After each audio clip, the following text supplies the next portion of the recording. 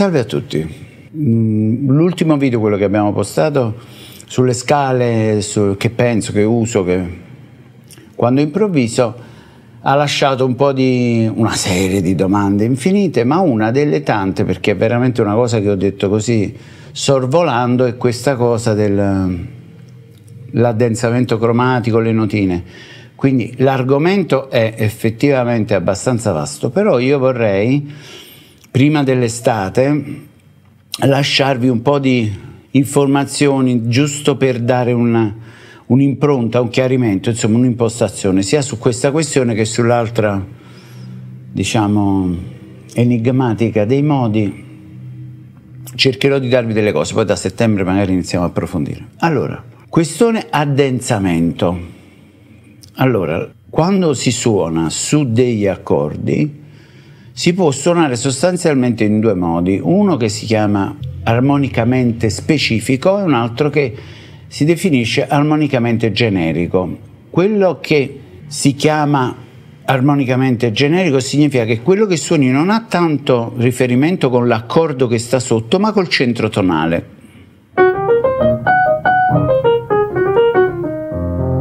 Roba pentatonica blues, pop, rock, questa cosa qua. Invece nel jazz si usa molti, si usa anche questo, devo dire la verità, perché è un colore fighissimo, però si usa particolarmente spesso invece l'approccio armonicamente specifico, cioè significa che quello che suoniamo ha direttamente relazione con l'accordo che sta sotto in quel momento e che è un modo di rendere più vario, di arricchire il contenuto armonico stendendolo melodicamente. Ok? Quindi la cosa fondamentale che noi dobbiamo tenere presente quando facciamo questo lavoro non è, come tutti dicono, o come spesso si capisce, le scale, sono gli accordi.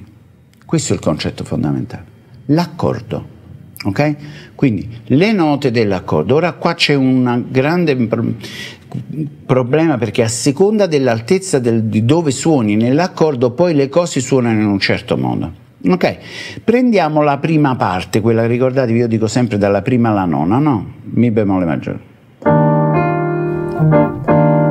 Ok, allora che cosa succede? Il modo con cui io insegno questa cosa, con cui cerco di far ragionare i ragazzi è ci sono due, si parte dall'accordo e poi c'è la possibilità di creare un addensamento dell'accordo che è diatonico, cioè note della scala. Quindi se io ho queste note qui, mi bemolle, sol, si bemolle, re, fa, io posso...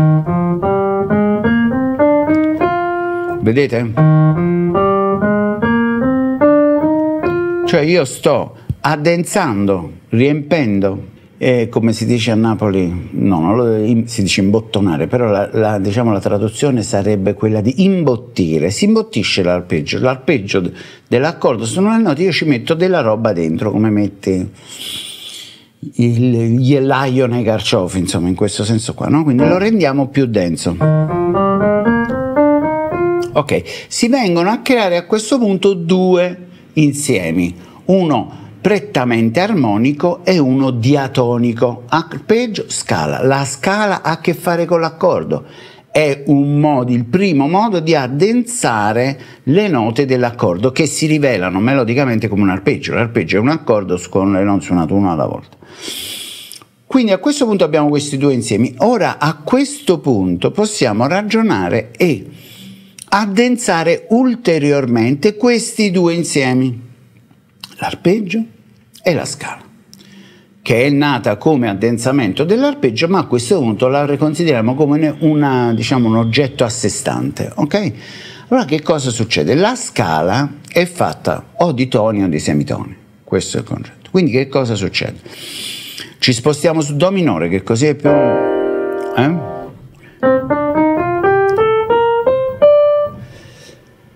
Um, che cosa succede? La scala ha questi toni dove in mezzo, ovviamente essendo la distanza un tono, c'è una nota in mezzo che non fa parte dell'accordo, non fa parte della scala.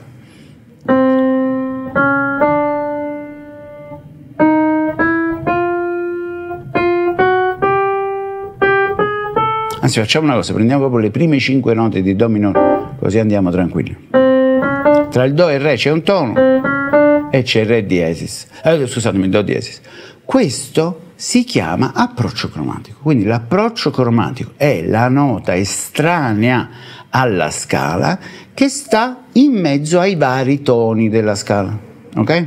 Quindi ce n'è uno qua, c'è un altro qua e c'è un altro qua. Ok? Quindi che cosa significa? Che, che quando suono io ho questi tre livelli di densità, quello armonico, dove le note stanno più larghe, quello diatonico, dove le note stanno un po' più vicine, e poi quello cromatico, cioè delle note che stanno in mezzo ai toni della scala.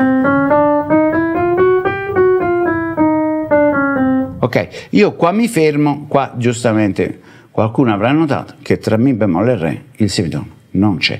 Quindi se io volessi suonare una frasettina cromatica che sale sulla scala tenendo le note della scala a terra, quindi facendole sentire come note melodicamente, armonicamente più forti, io poi si fa quello che noi chiamiamo la scala cromatica orientata, cioè che cosa significa? Che in realtà io sono tutte le note, tutte e 12, però le aggiusto rispetto alla, alla, alla scala che sto usando in questo momento.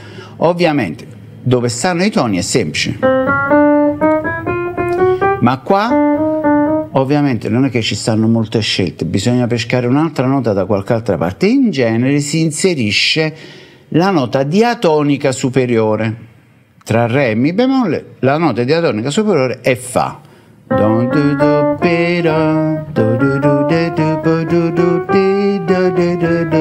Ora sono sceso,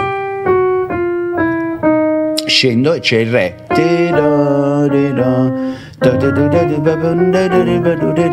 Già se la suoni così, diciamo, già sembra un fatto super fighissimo, no? Bop. Ok? Questo è, ovviamente, se tu vai avanti e vai avanti così, diventa, diciamo, diventa una pappardella.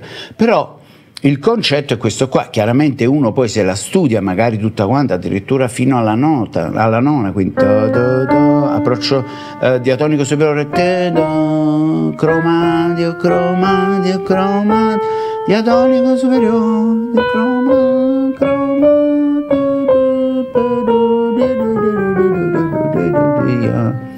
e questo ti dà la possibilità di muoverti e di avere molte più note a disposizione ma non è suoni quello che vuoi perché le note fuori sono fighe. No, le note non appartenenti all'accordo, e non ne parliamo della scala, sono utili perché creano un minimo di sapore, un minimo di pizzicore, no?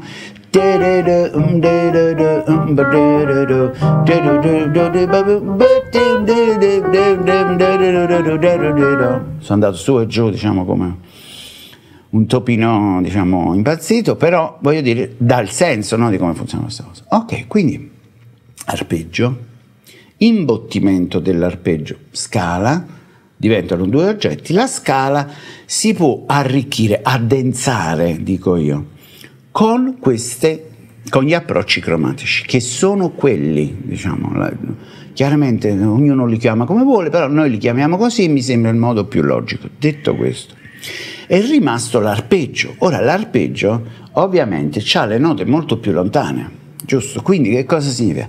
Che tra un Do e un Mi bemolle, tra un Mi bemolle e un Sol, no? C'è molto più spazio. Quindi si possono fare, addensare queste note, non tanto con l'approccino, perché lo spazio è stretto, ma con grappoli di note, gruppi di note. E qua arriviamo a queste famose eh, avvicinamenti melodici che in americano si chiamano enclosure e in italiano si chiamano circondamenti, un nome più, però funziona, insomma, dà l'idea. Che cosa sono questi circondamenti? Percorsi melodici che conducono alla nota target. Qual è il target del mio percorso? Nota, una nota dell'arpeggio. Okay? Consideriamo le prime tre. Do, Mi bemolle e Sol. Ok? Quindi lo vedete che tra Do e Mi bemolle, Do e Si c'è parecchio spazio, no? Quindi io posso fare addirittura con una nota.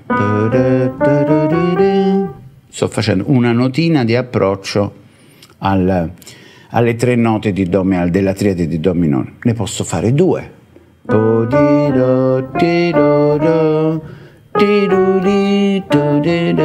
Ma come la scegli? La scegli nella scala, la scegli diatonicamente? La scelgo come suona. Mi piace? Va bene. Qua se vogliamo sarebbe un cromatico inferiore diatonico superiore. Qua sarebbe un diatonico inferiore, e non riesco manco a ragionare così, mi, mi, mi, mi impappa il cervello, diatonico inferiore e diatonico superiore e poi addirittura abbiamo fatto invece te, un, un, cromatico superiore e cromatico inferiore. Ok, io modestamente confesso sinceramente diciamo, la, la, la, incapacità del mio cervello di tenere presente tutti questi elementi cromatici. Io vedo, l'orecchio mi dice, la provo, eh, mi piace, basta. Cioè, io sarei anche virtualmente incapace di fare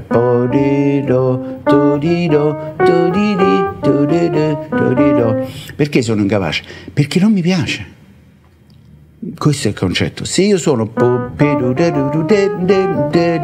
già qua ho fatto uno sforzo perché l'orecchio avrebbe detto ma non mi ricordo come ho fatto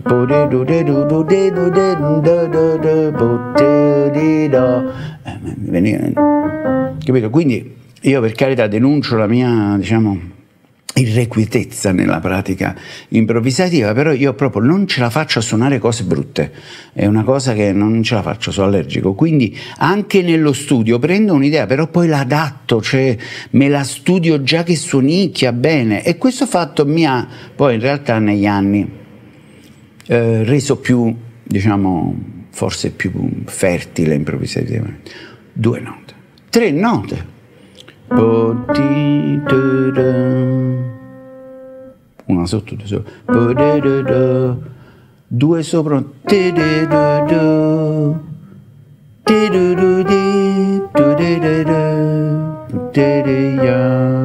ok. Ovviamente, se poi uno vuole andare nel dettaglio, sono 3 a 4,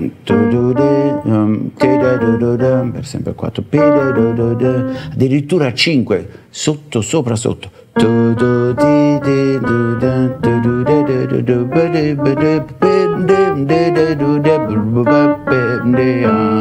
eccetera eccetera.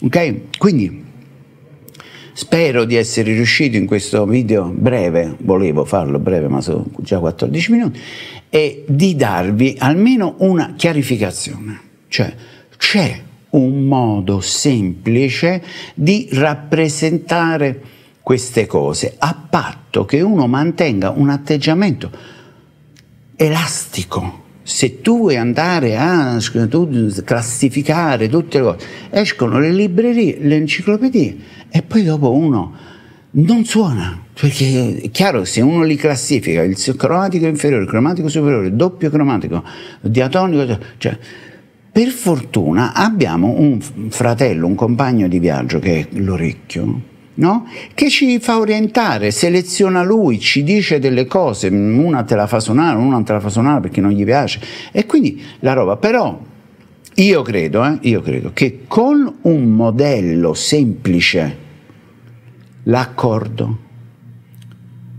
l'imbottimento dell'accordo, l'addensamento dell'accordo scala.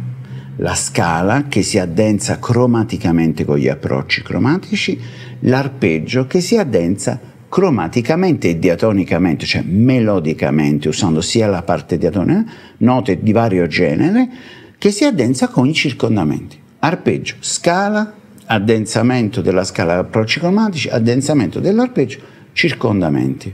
Ovviamente a questo punto, se hai un sistema semplice in testa, lo puoi praticare perché è più facile, cioè, poche cose, poche idee ma chiare, no?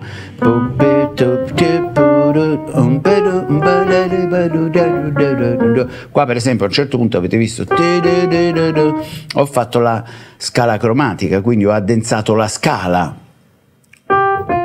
con l'approccio cromatico.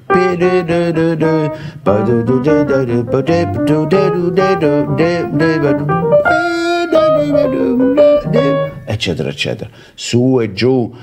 Questo per me, diciamo, è il modo più agile, più leggero di classificare in un modo sistematico ma non troppo il materiale con cui si può arricchire l'espressione orizzontale dell'armonia che invece è verticale. L'armonia è verticale e noi esprimiamo questa dimensione verticale in maniera orizzontale con una nota alla volta, tenendo ben presente il rapporto fra quello che facciamo melodicamente e quello che sottintende armonicamente.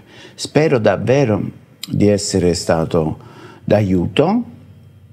Vi prego di studiare la teoria il meno possibile e di applicare la teoria il più possibile con l'esplorazione, che è questa cosa qua. Ho dei concetti, li suono, per esempio, facciamo un esempio, li studio e chiaramente, stupidamente, li studio ritmicamente uguali, metto sempre la nota in basso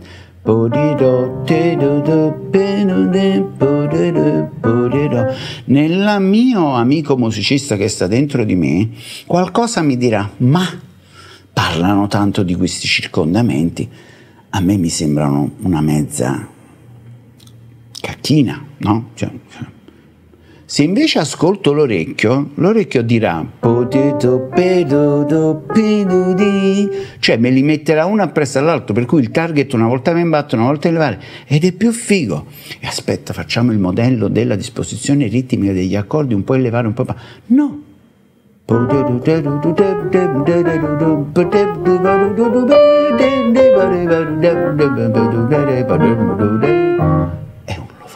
cioè, diciamo chiaramente, ovviamente non così la prima volta, ma se tu ascolti lui che ti suggerisce, ti suggerisce, a un certo punto lui capisce, perché l'orecchio, come ho detto molte volte, è come Hulk, è estremamente potente, ma un poco fezzacchiotto, ok? Quindi la testa capisce subito, l'orecchio per capire ci mette tempo, come raccontavo nell'esperienza con Dario sui pezzettini che abbiamo pubblicato. Eh, questo è, l'orecchio ci mette tempo e quindi devi nutrirlo, glieli devi far sentire, lo devi consultare. Che dici? Lo facciamo così? Che dici? Lo facciamo così?